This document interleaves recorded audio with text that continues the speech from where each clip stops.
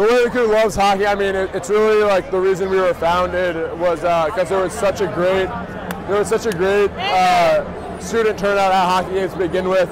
We're really a national powerhouse when it comes to our hockey performance. So it's always great to see the Whale packed with both students and people from the New Haven area uh, rooting on rooting on Yale. And we hope that's going to be another great day, uh, great year rather, for the for the crew and for for Yale hockey. Why do you think hockey is so popular with Yale students? I mean, first of all, hockey is just a great spectator sport. The Whale is a phenomenal venue. Everyone's so close to it. Uh, we can all just really, uh, everyone can really feel like they're part of the action.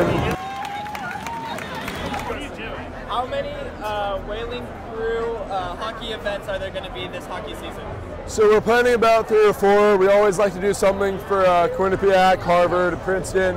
We're been thinking about doing something at the away game at Quinnipiac, uh, which is always a fan favorite, and it, it should be a lot of fun. When's the next Whaling Crew hockey event? Uh, next next week, actually, next week, Yale Hockey plays Quinnipiac at home. So we hope to see everyone here.